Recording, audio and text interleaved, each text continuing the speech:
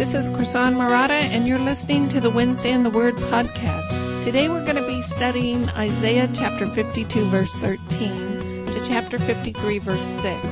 This is the seventh talk in our series on the servant songs from the Old Testament book of Isaiah. You can follow along with the lecture notes by going to our website. You'll find those notes at wednesdayintheword.com slash servant songs 7. Thanks so much for listening. I have a friend who's always struggled with knowing that God loves her. She's been a Christian for a long time now. She's been to Bible college. She's one of the best and most insightful evangelists I know. And she teaches frequently on topics related to apologetics. We work together in ministry. We work together in business. And we've studied and taught the Bible together, but for some reason I've never been able to understand she has struggled with doubts over whether God loves her. About 10 years into our friendship, I received an email from her in which she was overjoyed because she finally grasped the idea that God truly loved her. She always knew that God loved her intellectually because she knew He loved everyone, but she could never really believe that God loved her individually because she knew she wasn't a lovable person. So in her typical style, she repeated to me the very reasoned and philosophical logical argument that finally convinced her that God loves her individually and personally.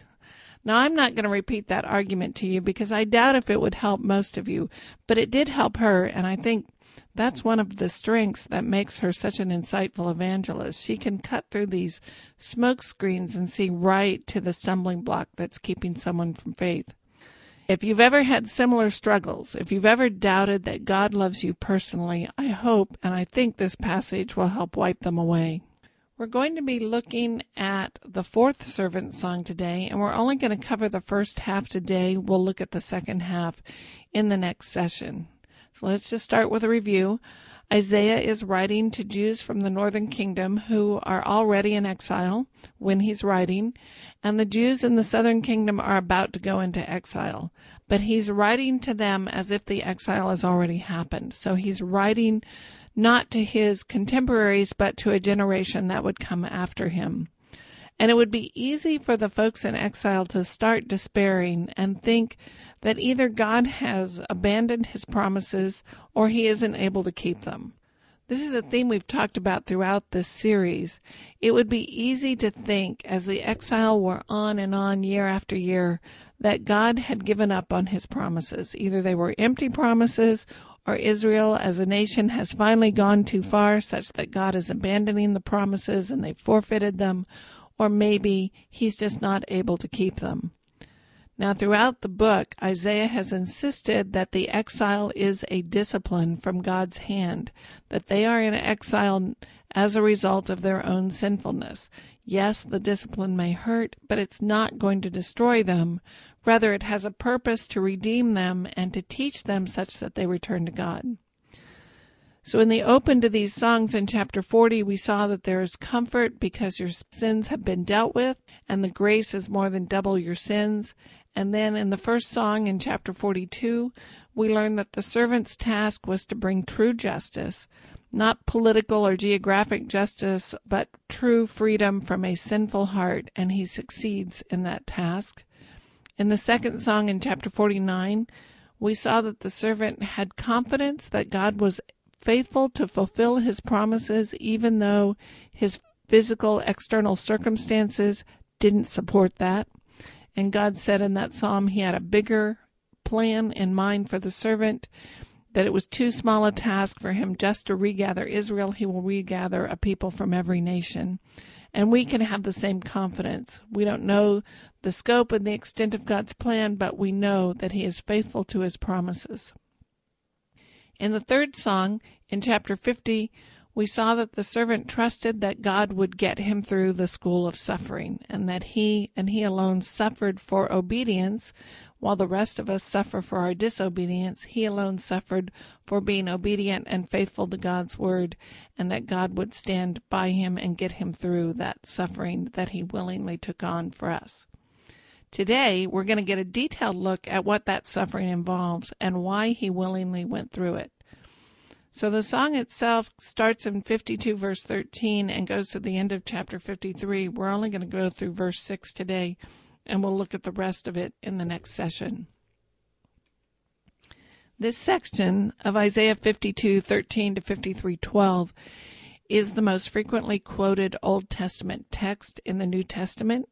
It's rather remarkable in that Isaiah gives a description 700 years before Christ, he gives a description of the servant's atoning work, his reception by God, by the nations, and by Israel just as an aside, because the early Christians were so effective in using this text to evangelize the Jews, it was officially removed from all synagogue readings. One Jewish scholar wrote, The reason the prophecy of the suffering servant is not included in the synagogue lectionary, although the passages immediately preceding and following it are found there, is the Christian application of that prophecy to Jesus. Basically, they took it out because it described Jesus too well. The song itself is composed of five sections, and each section has three verses. I'll give you the outline for that, and you can find this in the lecture notes for today's talk, which are at wednesdayintheword.com slash servant songs 7. So the sections are 52:13 through 15, where God exalts his servant. So God exalts his servant 13 through 15. Then in 53 1 through 3, Israel rejects the servant in 4 through 6, the servant suffers our death for us. 7 through 9, Israel executes the servant while the servant remains silent. And then in 10 through 12, God rewards the servant and grants him glory. Notice God has the first and last word. God exalts the servant, Israel rejects the servant, and then the centerpiece, the servant suffers our death. Israel executes the servant, but God rewards him and we're going to look at the first three sections today. So let's start with the exaltation of the servant, 52 verses 13 through 15. 52:13 says, "Behold, my servant will prosper; he will be high and lifted up and greatly exalted." Notice the first point that we see here is that the servant will be exalted to the right hand of the Father. The New American Standards has prosper. I think the ESV has act wisely. It can also be translated act successfully. The idea is that it combines wisdom and effectiveness in the sense of knowing exactly what needs to be done. So he will act wisely. He will act successfully. He will prosper because he has the wisdom and the effectiveness of knowing exactly what needs to be done to bring about the right result and then doing it greatly exalted occurs very few times in the Old Testament. Four other times it occurs are in Isaiah, and all four of them refer to Yahweh himself. So it's a high honor to be given to an individual. The servant is greatly exalted as the Lord is exalted. So it's an honor reserved for the Lord himself and his servant. So right at the beginning, we learn that the servant knows what needs to be done to bring about salvation, and he will succeed in doing it by dying on the cross. He pays the price for our wickedness. He brings about our forgiveness, pays the penalty for our sins, and then brings about our salvation. And as a result, he will be exalted. He will be high, he will be lifted up and greatly exalted. And a lot of scholars like to see that as a parallel, those three attributes as parallel to Jesus' resurrection, that is, he'll be high. His ascension, that's the lifted up, and his exaltation, greatly exalted. At any rate, it's clear no one else, however great his or her achievements, achieved what the servant did. The servant achieved such heights that he was exalted to the right hand of the Father. But notice this incredible exaltation is followed in the text by the deepest of contrast, this revulsion which causes the suffering. Now in real life, the suffering came first, but in this psalm it comes second. And what he's going to go on to say is just as they were speechless at the horror of his sufferings, so the nations will be speechless in amazement at his exaltation. 52:14 just as many were astonished at you and then my people implied according to the NASB So his appearance was marred more than any man, and his form more than the sons of men. So many, I think, refers at least to the nation of Israel, if not to the whole company of all sinful humanity, and it's contrasted with the one, the one servant, the solitary servant. Astonished is this really strong word. It can mean shocked or shattered. It's used of being devastated or being bereaved of a spouse. And then so his appearance was marred more than any man, and his form more than the sons of men. I think the idea is not that he suffered more than any other person, although that may be true because crucifixion was a pretty horrible death to die. But the point in this psalm is that he was so disfigured and so marred by his suffering that they reacted with shock at his appearance. So there was this kind of is he human reaction they would recoil and step back in horror at the sight, wondering if he was really human because he was his appearance was so marred. Then in verse 15 we have a translation issue. The older NASB translation said, Thus he will startle many nations. Kings will shut their mouths on account of him, for what had not been told them they will see, and what they had not heard they will understand. That Thus he will startle has been changed in the new NASB to thus he will sprinkle many nations, and I think the ASV has the same. So shall he sprinkle many nations. Well, what's going on there? Where, how do we get from startle to sprinkle? Well, the Septuagint, which is the Greek translation of the Old Testament, a very old Greek translation of the Old Testament, has startled in verse 15 but the Hebrew Masoretic text has sprinkle.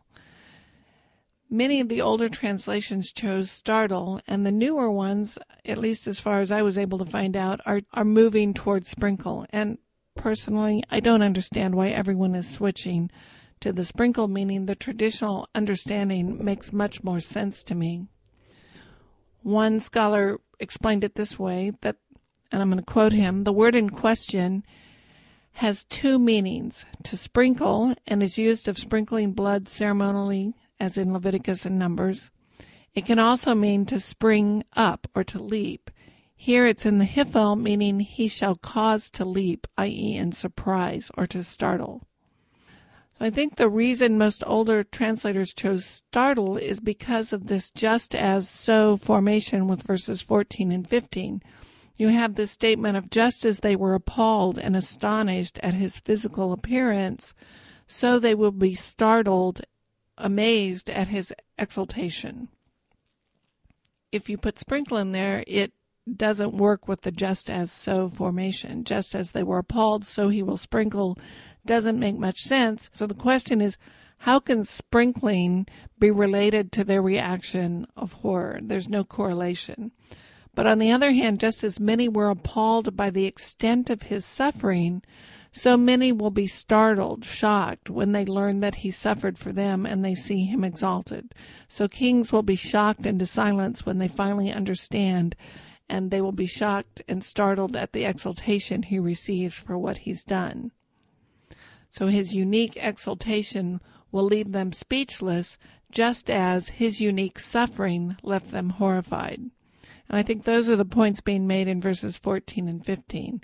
That just as many were astonished, really speechless because they were horrified, in verse 14, in verse 15, thus he will startle many nations, leaving them speechless at his exaltation. So you get this complete reversal. So to the astonishment of the nations, the servant will suffer. They will be appalled to the point of speechlessness by his marred appearance. Jesus was flogged, he was beaten, he was crowned with thorns that pierced his skull, he was mocked, he was spat upon, and he was scarcely recognizable as he made his way to the cross. And that was a great stumbling block for Israel. The rabbinic literature is filled with passages saying Jesus couldn't be the long awaited Messiah because he suffered a fate that set him apart as under the curse of God, and they couldn't believe that the Messiah would suffer like this. But that suffering is reversed.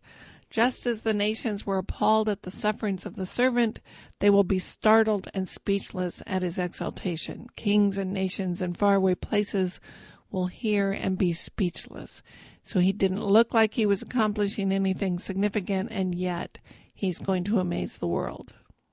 And then he's compared to the nation of Israel, just as many were astonished at you, my people, i.e., Israel started out as this tiny, insignificant nation. She didn't look very promising.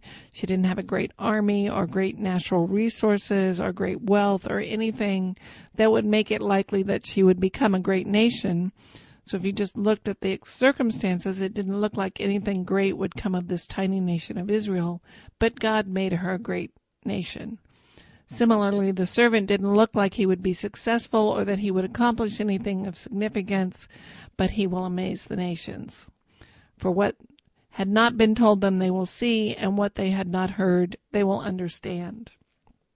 Those who were studying the prophetic promises, who had all the preparation of the sacrificial system and the Old Testament law and prophets, they will reject the Messiah while those who never heard the promises, who never had the Old Testament, who knew nothing of the sacrifices, and never heard of the law or the prophets, they're going to embrace Jesus as the Messiah when they hear his name.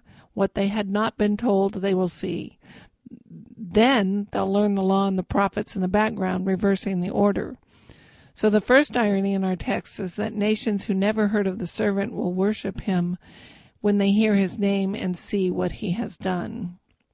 Okay, let's move on to the next section, the rejection of the servant. So while those with no previous knowledge of the servant will worship him, it's even more ironic that those to whom the promises were given for the most part reject him. So this is 53 verse 1. Who has believed our message and to whom has the arm of the Lord been revealed? The answer to who has believed? No one and our message is a term that's usually used for the word given by a prophet of God. The arm of the Lord is a metaphor for the Lord himself, usually in all his power. So it's not something or someone separate from the Lord, but the Lord himself in his power and might. And the presumed answer is no one. No one believed that this man could be the servant, the Messiah, the Lord himself in his power. No one would believe it without divine revelation human observation alone would not lead you to the right conclusion. And then verse 2 tells us why. For he grew up before him like a tender shoot, and like a root out of parched ground. He has no stately form or majesty that we should look upon him, nor appearance that we should be attracted to him. So those to whom the prophecies were given will reject the servant because he doesn't meet their qualifications he didn't look promising in their eyes. He didn't look like the kind of person who would accomplish anything. So he's not part of the establishment. I think that's what the tender shoot means. The tender shoot is the suckling or the sapling, so it's a shoot that grows out from the plant's system. So if you grow vegetables, you're familiar with this. You know if you grow tomatoes that these sucker branches appear on the vine and you need to remove them because they won't bear any fruit. They just sap the strength of the plant. Well, that's the idea here. That's the tender shoot. That's is that sucker vine.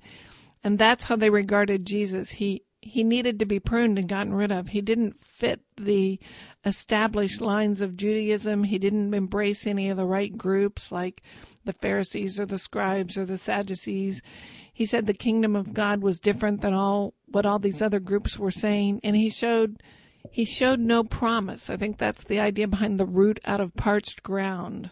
It's a metaphor for a plant that springs up in a dry, parched ground and has no promise of success because how can a plant live without water? How can it, it will spring up in this dry, parched ground, but there's no hope for it to flourish because there's not enough water.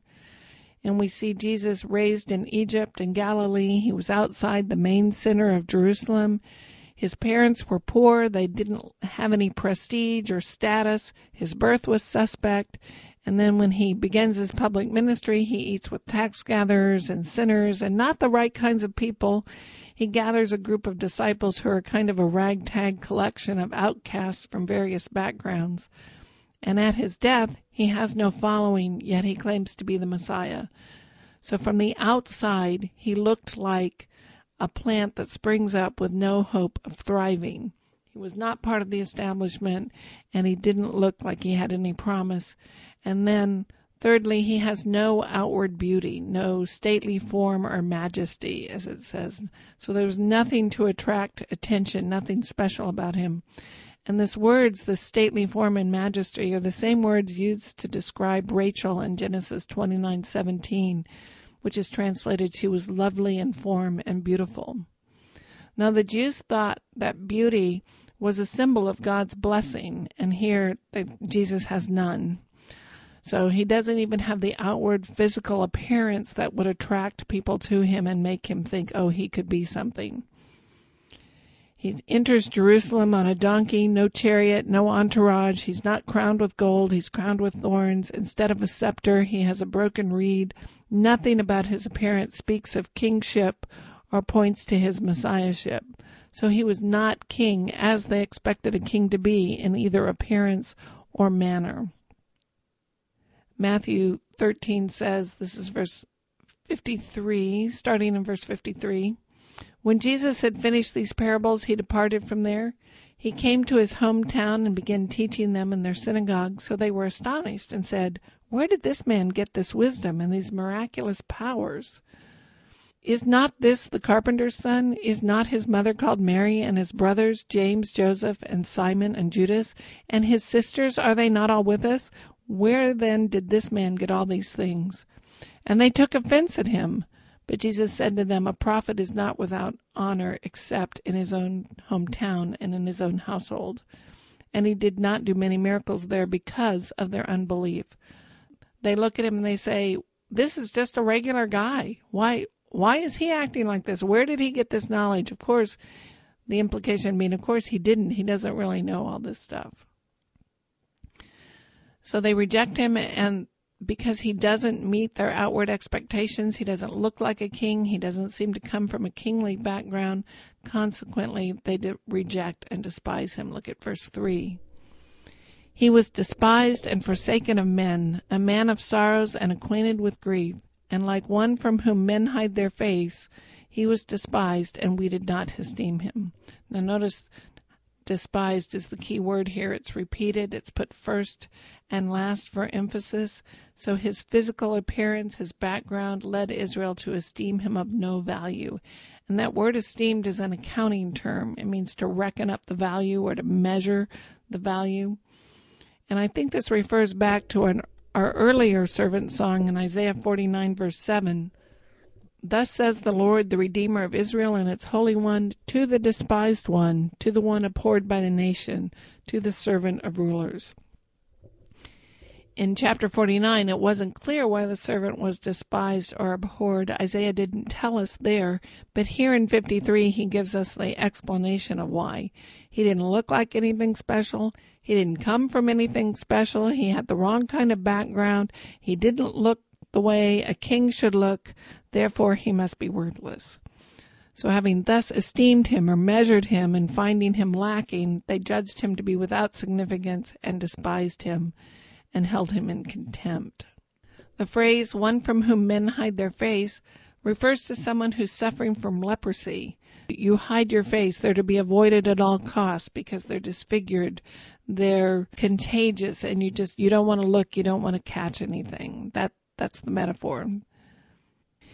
It's always puzzled me why the Jews rejected Jesus. Why would God plan it such that the very people who possess the law and the promises would judge the Messiah worthless and reject him?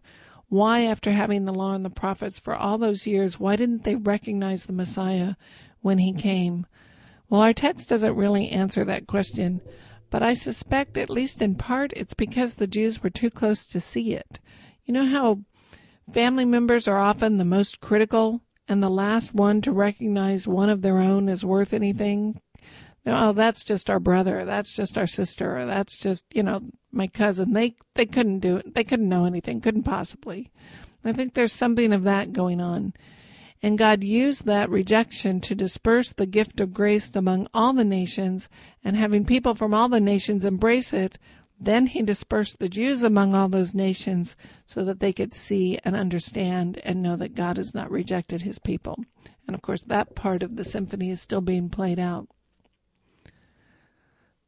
Let's go on to the third section where the servant suffers our death, verses 4 through 6. And as we read this section, watch the contrasting pronouns of he and our in this section. Surely our griefs he himself bore, and our sorrows he carried, yet we ourselves esteemed him stricken, smitten of God, and afflicted. But he was pierced through for our transgressions, he was crushed for our iniquities. The chastening of our well being fell upon him, and by his scourging we are healed. All of us, like sheep, have gone astray. Each of us has turned to his own way, but the Lord has caused the iniquity of us all to fall on him. So notice the contrast. Our griefs he bore, our sorrows he carried. He was pierced through for our transgressions, he was crushed for our iniquities. The chastening of our well being fell on him. He suffered in our place by carrying our, the penalty for our sins and dying the death we should have died. Verse 4 Surely our griefs he himself bore, and our sorrows he carried, yet we ourselves esteemed him stricken, smitten of God, and afflicted. So, esteemed again is that accounting term. The bore and the took up are the same words that are used to describe the scapegoat, which was banished on the Day of Atonement, and which, is, of course, is a foreshadow of the death that Christ would have to die to atone for our sins. This is Leviticus 16, verses 21 and 22. Then Aaron shall lay both of his hands on the head of the live goat, and confess over it all the iniquities of the sons of Israel, and all their transgressions in regard to all their sins. And he shall lay them on the head of the goat, and send it away into the wilderness by the hand of a man who stands in readiness. The goat shall bear on itself all their iniquities to a solitary land, and he shall release the goat in the wilderness. The, this language in Isaiah is hearkening back to the scapegoat the imagery in verse 6, the causing our iniquities to fall on him is the language that is used to describe the scapegoat. Griefs, infirmities, sorrows, they refer to the consequences of our sin, all the mental and physical anguish that sin leaves behind, the devastation, both physically and emotionally, that it leaves behind. So sin doesn't just condemn us, it wreaks havoc in our lives here and now. When we sin, we get hurt. When others sin against us, we get hurt and we experience death in all kinds of forms. Anger, bitterness, frustration, broken hearts, grudges, hostility, misunderstandings, pain, loneliness, isolation, alienation, depression, larger scale, divorce, war, broken relationships, all that stuff, all those lost opportunities and all that bitterness and anger and tragedy is all the result of the sin in our lives and the sins of others. And Jesus took it all, all of it, and paid the price for all of it. I have a friend whose husband was unfaithful, and when his affair came to light, after much soul searching and prayer, she decided to forgive him and try to make the marriage work. But he couldn't forgive himself. It was almost as if her forgiveness ate away at him, and he wanted to punish himself more and more, and he wanted her to hate him as he was beginning to hate himself. And as all this came to light in counseling, he found that even though he believed the gospel, he never really felt that Jesus' death was enough. Intellectually he knew, but he wasn't convinced that all of his sins, that everything uh, was covered, he felt he had to add to the penalty and try to pay part of the price. And his struggle to accept his wife's forgiveness was a mirror of his struggle to accept the Lord's forgiveness. But the good news is that our forgiveness is complete and total. As we saw in the first week, the grace we're offered is more than double. It's twice over the sins. So the servant died our death, but his death was misunderstood. The nation judged him smitten of God and afflicted. The Jews regarded him as being under a curse, and they had Deuteronomy 21 verses 22 and 23 as proof. This is Deuteronomy 21 and 22. If a man has committed a sin worthy of death and he is put to death and you hang him on a tree, that's crucifixion was considered hanging him on a tree, his corpse shall not hang all night on the tree, but you shall surely bury him on the same day, for he who is hanged is accursed of God, so that you do not defile your land which the Lord your God gives you as an inheritance. See, even while he was hanging on the cross dying, people stood by mocking him and sneering at him, offering him sour wine, taunting him about saving himself. And that was an amazing display of love. I mean, to give your life for someone who will not only not understand it, but not appreciate it and even despise it is an amazing act of love. Have you ever had the experience where you spend weeks hunting for the perfect birthday gift for someone and you finally find it and it costs a lot of money, but you buy it anyway because you know this is the perfect gift. And then you give it to your friend and your friend says, Oh, that's nice. Is that all? It's just so crushing because you wanted this gift to be valued and appreciated and understood. And yet, in a very, very small way, that is the feeling that Christ must have felt. I mean, small for us. His was magnified. Here, here he is offering his very life, and not only do the people he's dying for not appreciate it, they don't understand it, they're mocking him. But the further good news is that our inability to recognize what Christ was doing, to recognize the atonement, did not hinder his its success. Look at 53:5.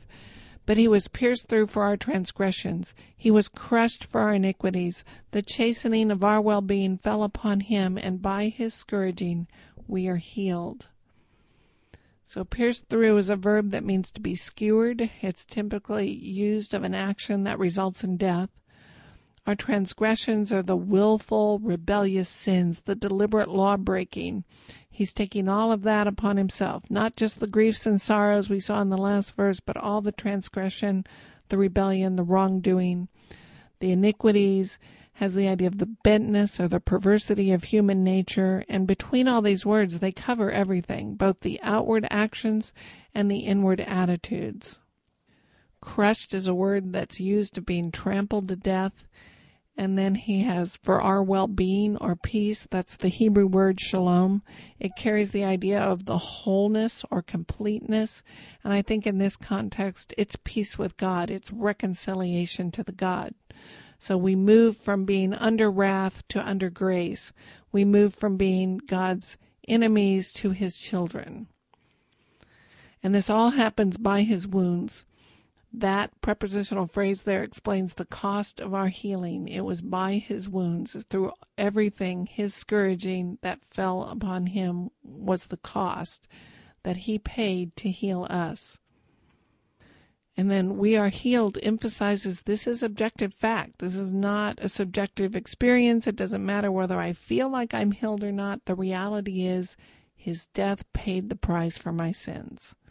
So we have in this verse our sinful state, the transgressions and the iniquities, our reconciliation to God with the well-being, the shalom, and then our brokenness and the scars which are healed. I mean, that pretty much covers everything. I don't think he left anything out. Jesus was pierced, crushed, and scourged, yet his work was effective. Our guilt was heaped upon him, and his life and grace and mercy was heaped upon us. And of course, this language is echoed in the New Testament. John 19:1 Then Pilate took Jesus and scourged him. And then John 19:34 But one of the soldiers pierced his side with a spear and immediately blood and water came out. Let's look at verse 6. All of us like sheep have gone astray, each of us has turned to his own way, but the Lord has caused the iniquity of us all to fall on him. So notice the all of us, all of us, like sheep have gone astray. Each of us has turned to his own way, but the Lord caused the iniquity of all of us to fall on him. This verse begins and ends with the same word, the all. So the need is universal and the sacrifice is sufficient for all of us. We are all guilty, but his death covered all the cost. And notice Jesus did what he did because it was God's plan. The emphasis here is the Lord has caused. We're going to pick up that theme again in the next sections, but notice he's following the will of the Lord. The Lord caused the iniquity of all of us to fall upon him. Here's the next irony of salvation. Jesus died our death, and though his sacrifice was not appreciated and it was despised, its very rejection ensured that the benefits became available to all of us and no other gift so perfectly displays the love of God. Now let's think about that for a minute. I'm sure all of you can imagine dying for your children. If your toddler was out playing in the front yard and strayed into the path of an oncoming car, not one of you would hesitate to run out into the street and risk your life to scoop that child up and get them out of harm's way.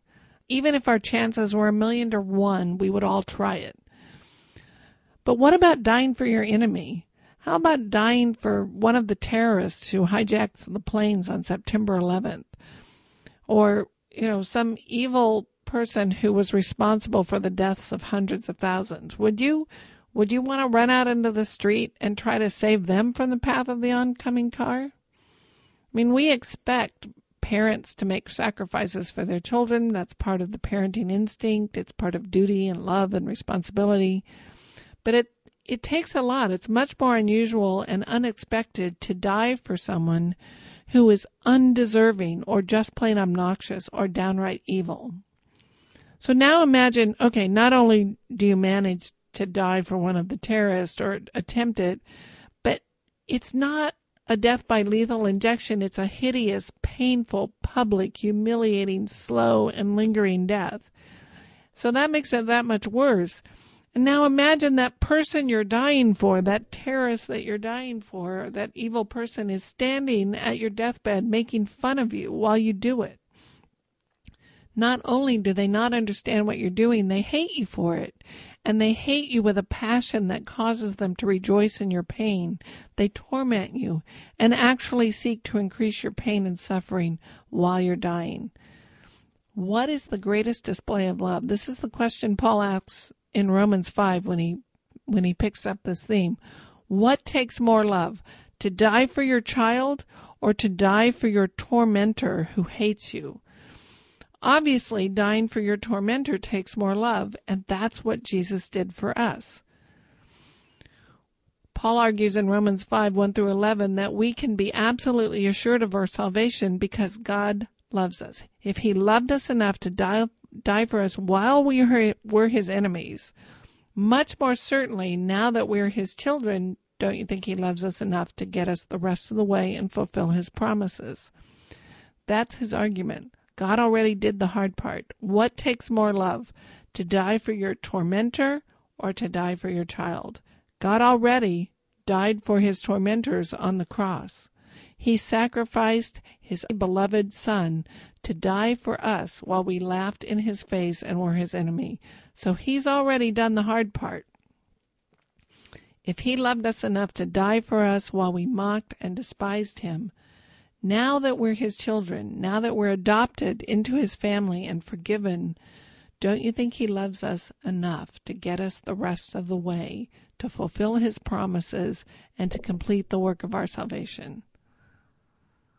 How could we doubt him? He's already shown the greatest love he, he could show us because we are those terrorists. We are the, the tormentor. We were God's enemies under his wrath. But now because of the death of Jesus, our status has changed from tormentor to child. We are now adopted into his family. So now we're in the position of a mother saving her toddler from the car because now we have been adopted into his family and we can be absolutely assured that he will get us the rest of the way that He will fulfill the ultimate desires of our hearts and grant us the eternal life and the freedom from sin and death that we long for. We have all the evidence we need.